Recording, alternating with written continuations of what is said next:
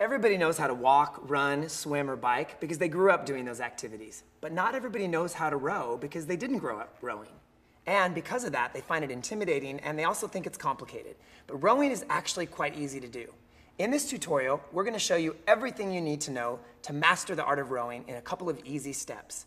And you'll be able to use this video anytime you wanna practice your strokes. So as we get started, there are three things you need to remember.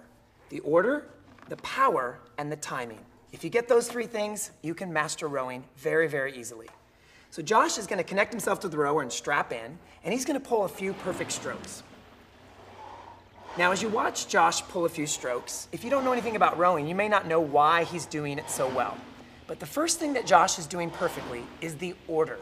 Many people believe that the legs, the core, and the arms all push and pull at one time because it's a total body activity. But in rowing, it's actually a linear progression. And those muscle groups or those body parts actually initiate at different times in the stroke. The order is very specific. It is legs first, then core, then arms, then arms, then core, then legs. Let's look at that again. Legs first, then core, then arms, then arms, then core, then legs. Now, if you're doing that order, you're certainly not going to row like that. You're going to row more smoothly, but that's the order you want to do the stroke in. If you do it out of order, it becomes really difficult to get your timing and your power and your rhythm right. Let me give you an example of somebody that's doing the rowing order out of order.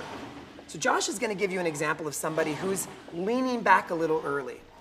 Right here, what you see him doing is he's trying to initiate through his core before he's actually straightened his knees completely. And again, what's going to happen there is he won't get as much power because he's trying to use his back when his legs haven't finished the job. Another example of rowing out of order would be coming on the way in towards the catch. Here's an example of somebody who's bending their knees before they've completely straightened their arms.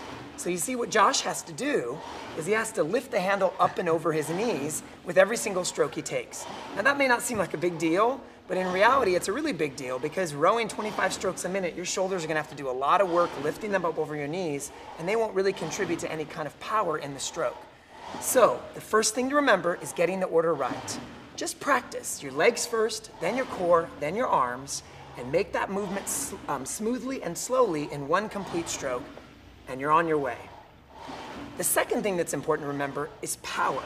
In rowing, the power distribution is not even from your toes all the way up to your fingertips. It's actually distributed very specifically between the legs, the core, and the arms. If we broke it down, it would be 60% of the power in your legs, 20% in your core, and 20% in your arms. So think 60, 20, 20. Now, that's not going to be exactly the percentages for everyone that gets on a rower, but it's going to be pretty close. Let me give you an example of what it might look like if somebody has the order correct, but they don't have the power distribution correct. Josh will show you what someone looks like when they're trying to do all of the work with their arms. So you can see here, he's actually got the order right, but he's trying to make up and get the best numbers he can by pulling on the last six inches. Now, You'll get pretty good numbers for a few seconds, but your arms are gonna get very tired very quickly. And many people find if they do this, they can't last on the rower more than a couple of minutes. So when you're rowing, remember the power distribution.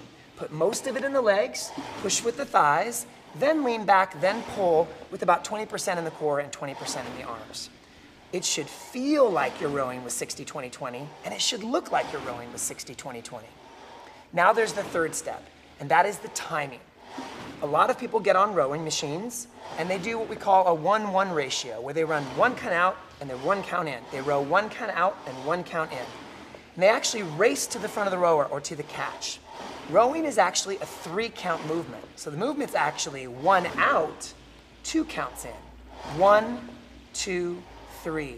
One, two, three. And even if you're rowing faster, you still want to protect that ratio of one, two, three. Another way to think about it is the drive, that one count, say to yourself, power. And then on the way into the catch, say patience, patience twice. So it works like this power, patience, patience, power, patience, patience, power, patience, patience. That'll help you get the timing down. And even when you're rowing all the way up at that 40 strokes per minute during the race, during the indoor row workout, you still want to think to yourself, one, two, three, power, patience, patience. And it's really simple why you want to do this. If you row too quickly and you don't give yourself that two count recovery, you think your power is going to be bigger in the long run, but you actually see your power fade because you don't give your body enough recovery on that powerful drive.